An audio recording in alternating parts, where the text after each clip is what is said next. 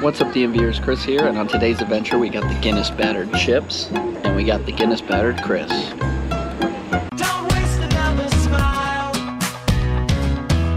'Cause the fun's about to start. We got love in all our hearts.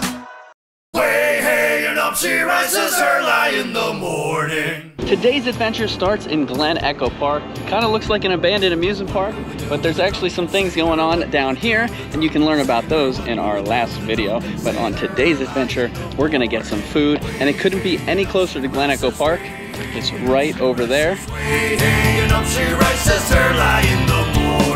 It's the Irish Inn at Glen Echo. Let's check it out.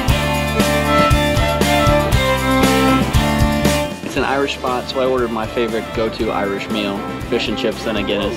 So a water main burst down here in this area and it messed up all the drinking water. So that's why this is here. With a rusty razor early in the morning. Way hanging up, she rises. Way hanging up, she rises. Way Cheers.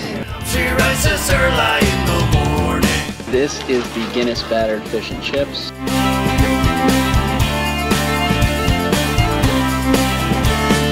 These are massive.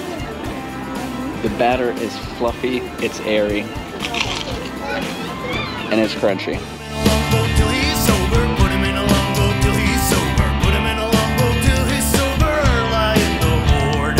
Guinness is fantastic and it was poured correctly. The fish and chips are really good as well. The only thing is when you're down here in this section, the prices are even higher. So this was like $22 for a fish and chips. But if you're at Glen Echo Park or going down to Great Falls, it's pretty cool patio, pretty cool atmosphere down here. It's worth stopping by. And yes, they do have a cool pub section too. The fish and chips was freaking amazing. It was like a 10 out of 10. I couldn't believe it. Guinness was on point. Patio setting's pretty nice. Price a little high. Doesn't matter. I had a great time. Thank you for joining me out here at the Irish Inn at Glen Echo. And I look forward to seeing you on my next DMV adventure.